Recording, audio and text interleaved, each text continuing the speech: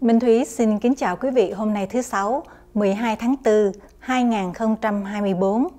Đến với VATV hôm nay gồm có phỏng vấn đặc biệt và nhạc lá bồ đề. Kính thưa quý vị, tại sao chính quyền Johnson không được tin tưởng như chính quyền Kennedy? Tại sao chỉ trong một thời gian ngắn ngủi, chính quyền Johnson lại đánh mất những uy tín chính quyền Kennedy đã tạo dựng? Tại sao giới truyền thông lại nghi ngờ chính quyền Johnson và dần dần đứng vào thế gần như đối nghịch. Giữa khi giới truyền thông đang bước vào thế đối lập với chính quyền và sau cú giáng Tết Mậu Thân của Bắc Việt, chàng thanh niên trẻ Lacey Rice được chỉ định công tác ở Việt Nam. Minh Thúy mời quý vị tiếp tục theo dõi những biến động ở Hoa Kỳ vào cuối thập niên 60, cùng tiếp tục theo dõi những suy nghĩ, giải thích của ông Lee C. Rice trong những bối cảnh của thập niên đó và cảm tưởng của ông trước khi được chỉ định công tác ở Việt Nam. Trong phần 3 do Phan Lê Dũng, Võ Thành Nhân và Minh Thúy thực hiện.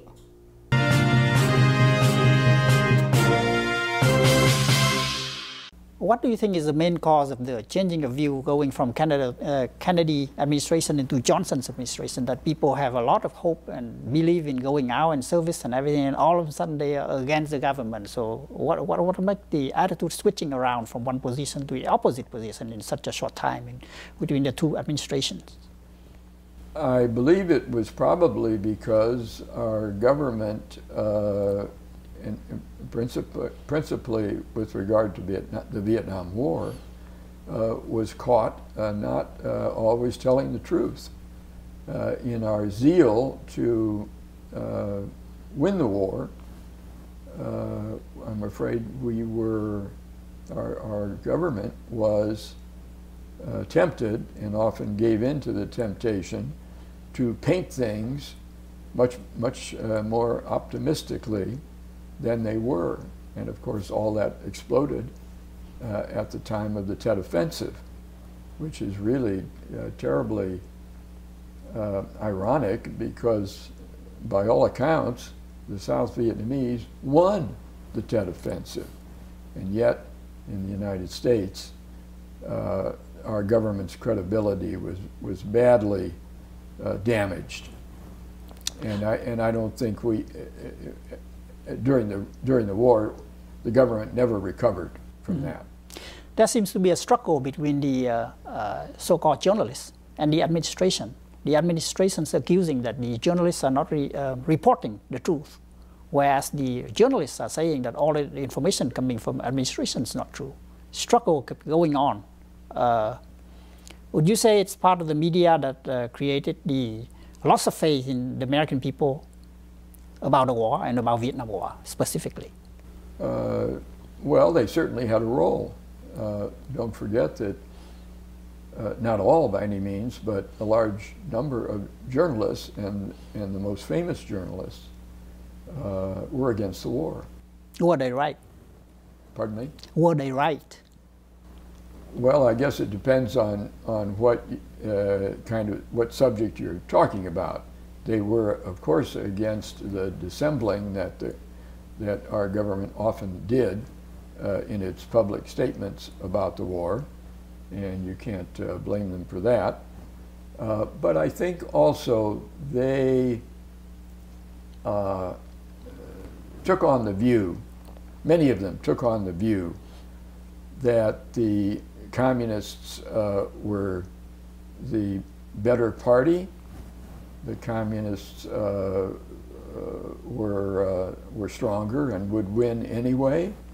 The South Vietnamese were often corrupt and had a, in, in, the, in the view of some people, a tenuous claim on, uh, on the leadership of South Vietnam and all that. And I think those kinds of, and, and don't forget there were some very influential books at the time that espoused this view.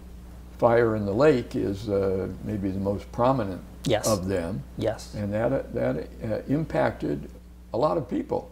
But the Lake came out in 1972, not 1968, 1962, or 1965, when American involvement is already there. So you're talking about 1972 as well. Well, uh, that, that's true, but it, it encapsulated the view that was uh, growing among the press and other people Mm-hmm. about that time, I would say. Uh, what about you? Uh, what's your impression about uh, you know the time that the American come into the war? Were you holding the popular view, or do you have any personal view at that time? Well, I think I was holding uh, uh, 1965, you say? Yes. Popular view, I would say. Uh, and what year did you come to Vietnam? Uh, I came first, I was there twice. I came first in uh, the uh, uh, May of 1969. 69. That's the first time you Yeah. went to Vietnam. So that's already after Tet. Yeah, that, that was about a year after Tet. What's your impression when you got into the country? Well, the first, you know, uh, when we were being prepared to go to Vietnam, uh, How are you prepared? first of all, uh, I entered the Foreign Service in January of 1968. So for the first uh, four months, I was in a uh, orientation course for the Foreign Service. Then uh, I was assigned to Vietnam. Then I went into the Vietnam Training Center uh, for training to go to Vietnam, most of which was language training. And uh, then I finally went to Vietnam in, uh, as I said, in April or May of 1969.